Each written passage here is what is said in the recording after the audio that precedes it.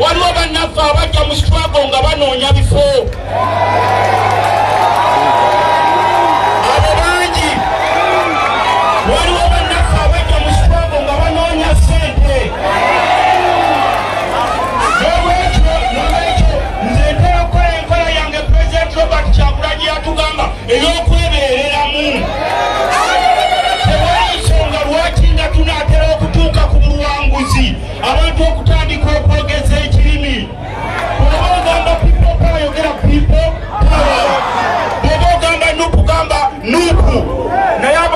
abamu ogenda n'omugamba pipo pawa olwokuba yalidde obusente bw'omulabe setaani.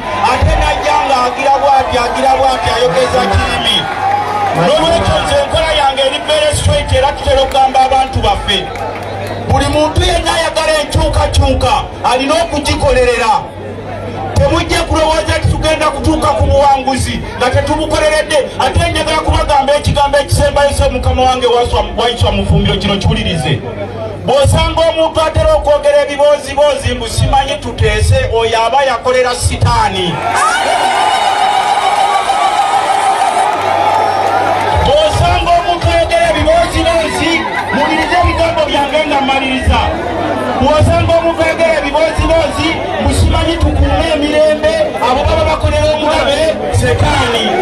N'olwekyo twetaaga fenna okwasira kino njagala kukibagamba mukimanye bwatulaze bulaga nti tagenda kuva mu buyinza nakalulu obubonero museveni bwatulaze okukwata n'abaana abatalina musango n'owulira nga buli lunaku babasomba buli lunaku babasomba n'osanga bannaffe abali mu kitwago nga beeyuzayuza mu kifo ky'okuyuzayuza tumalako abantu baffe ne mutumalamu amaanyi.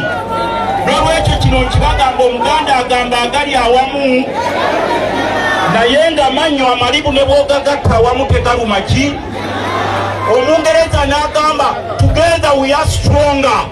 Buli tetunakoma okwetematemamu tugenda kusigalira mu bbanga naye ate kino njagala kibagamba mwe ba foot soldiers n'ababaka bannaffe nga mmaliriza ne basentebe b'amagombolola ne bameyazi nti abantu abasinga bwe munaaba temusimbye musululu gumu esente ne zibamalamu kubanga bano abasajja kati bakyalina kye bagamba ggwanga wabula buli omuntu bamukola ki naye oyo anaasigalira ku nsonga.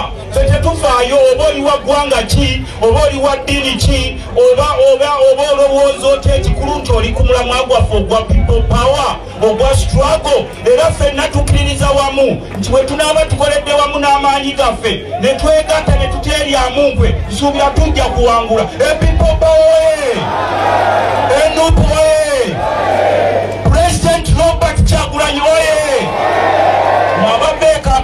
kasekendi kamu mwabava ekampala naddala abakulembeze bwe mutera okufuna empewo pulezidenti waffe temutera kumuyita pulezidenti mpulera nnyo okuwulira ebibozibozi byemwogera mbu honarebo kyagulanyi musimanyi principal kyagulanyi elected president of the republic of uganda